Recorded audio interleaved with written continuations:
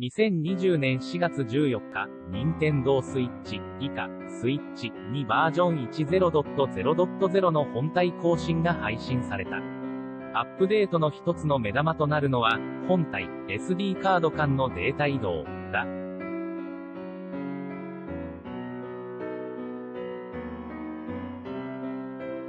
利便性の観点から待望されてきた同機能。これによりゲーム体験はどう変わるのだろうか？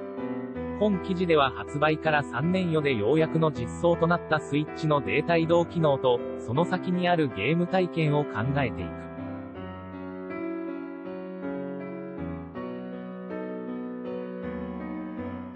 写真、任天堂スイッチは世界的な品薄に、本体、SD カード間のデータ移動が待望されてきたいきさつスイッチはロットや製品バージョンに関わらず、本体に 32GB のストレージを持っている。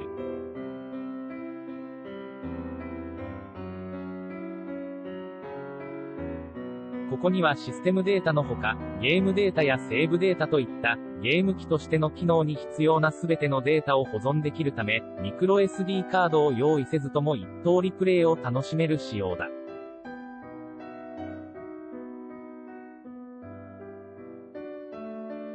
ユーザーの中には本体購入時の出費を抑えるなどの理由から、当面は同カードの購入を見送った人もいるだろう。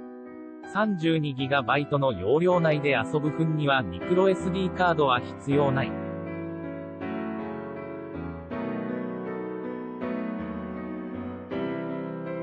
しかし近年ではダウンロード販売によってソフトを手に入れるケースが少なくない。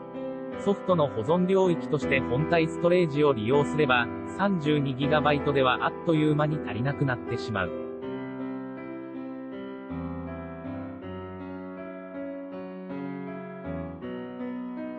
参考に人気タイトルのダウンロードに必要な容量を上げると、集まれ動物の森が 6.6GB、ポケットモンスターソードシールドが 10.2GB、大乱闘スマッシュブラザーズスペシャルが 15.7GB、スプラトゥーン2が 6.1GB となっている。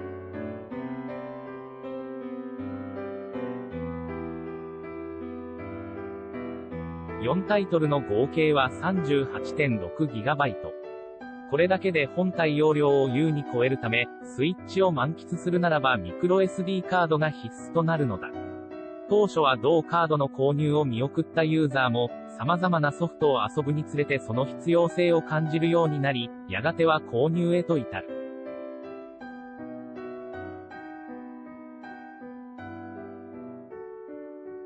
購入後にはデータを整理する作業が待っているが、これまでは保管しておきたいゲームデータを都度マイクロ SD カードにダウンロードし直す必要があった。ご想像の通り、この工程には大きな手間がかかる。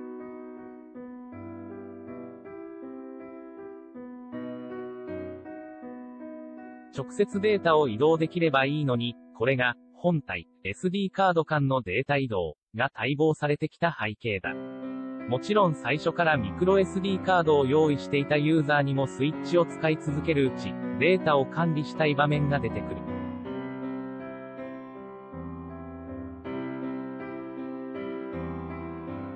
ちょっとした機能ではあるものの多くのユーザーの利便性に関わるのが、今回のアップデートで実装された、本体、SD カード間のデータ移動、だ。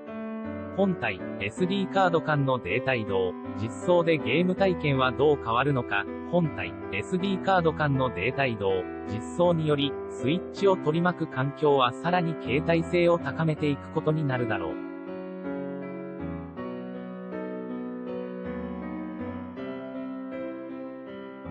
これまではインターネットに接続された状態でしか行えなかったデータの管理が、これからはミクロ SD カードを買い足すだけでできるようになる。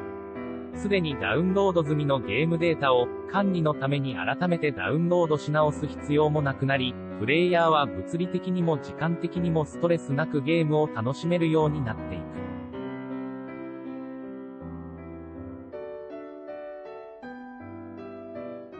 例えば、年齢や住む場所、遊ぶシチュエーションなどの理由により、いつもインターネットにアクセスできるわけではないユーザーもいるかもしれない。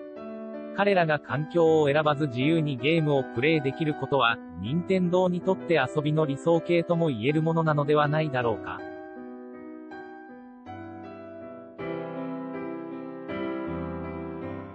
元は家庭用ゲーム機として発売された、任天堂スイッチが、やがて携帯ゲーム機、任天堂スイッチライトへと形を変えたように、プレイヤーのゲーム体験も時間や場所に縛られていたものから、より携帯性の高いものへと移り変わっていくのだろう。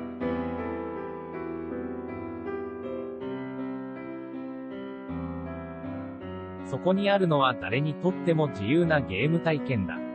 10.0.0.0アップデートでは、主に体の不自由な人へと向けた、コントローラーのボタン割り当て変更、機能も実装された。